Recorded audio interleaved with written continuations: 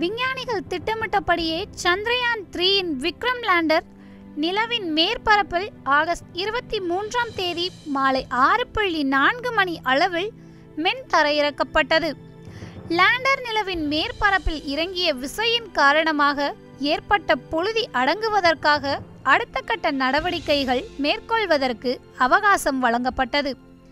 இதனை அடுத்து லேண்டரின் மையப்பகுதியில் பத்திரமாக இருந்த பிரக்யான் எனப்படும் ரோவர் லேண்டரின் பக்கவாட்டில் சாய்வு தளத்தின் உதவியுடன் வெற்றிகரமாக நிலவின் மேற்பரப்பில் இறங்கியது. பிரக்யான் ரோவர் நிலவின் மேற்பரப்பில் இறங்கும் வீடியோவை இஸ்ரோ அதன் சமூக வலைதள பக்கத்தில் வெளியிட்டுள்ளது. இது குறித்து இஸ்ரோ வெளியிட்டுள்ள பதிவில் லேண்டரில் இருந்து நிலவின் மேற்பரப்பில் ரோவர் இறங்கும் காட்சி என எழுதி ரோவர் லேண்டரில் இருந்து தரையிறங்கும் வீடியோவையும் பதிவிட்டுள்ளது. பிரக்யான் எனப்படும் ரோவர் முதலில் நிலவின் மேற்பரப்பில் ரசாயன பகுப்பாய்வில் ஈடுபடும். ரோவர் நிலவின் மண் மற்றும் பாறைகளின் அடிப்படை தன்மையை கண்டறிய அதில் பொருத்தப்பட்டுள்ள கருவிகள் உதவும். பிரக்யானில் உள்ள ஆல்பா பார்ட்டிகல் எக்ஸ்ரே ஸ்பெக்ட்ரோமீட்டர் எனப்படும் பேலோடுகள் மூலம் நிலவின் மேற்பரப்பை ஆய்வு செய்யும்.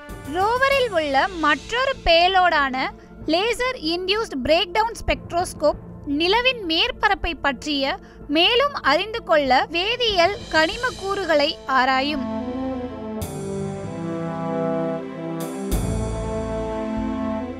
நிலவின் தென்துருவ பகுதியில் நிரந்தரமாக இருள் சூழ்ந்து இருப்பதால் அங்கு தண்ணீர் இருக்க வாய்ப்புள்ளது. இதனால்தான் தரையிறங்குவதை அசாதாரணமான தென்துருவ பகுதியை ஆய்வு செய்ய முடிவெடுத்ததாக இஸ்ரோ விஞ்ஞானிகள் முன்னர் தெரிவித்திருந்தனர். சந்திரயான் த்ரீ திட்டத்தில் முதல் முக்கிய கட்டமான லேண்டரை நிலவின் மேற்பரப்பில் சாஃப்ட்லேண்ட் செய்யும் பணி வெற்றிகரமாக முடிவடைந்த நிலையில் திட்டத்தின் முக்கிய கட்டமான மேற்பரப்பை ஆராய்ந்து அதன் முடிவினை ரோவர் லேண்டருக்கு அனுப்பி பின்னர் லேண்டர் அதனை பூமிக்கு அனுப்பும் நடவடிக்கை அடுத்ததாக மேற்கொள்ளப்படும் என கூறப்படுகிறது.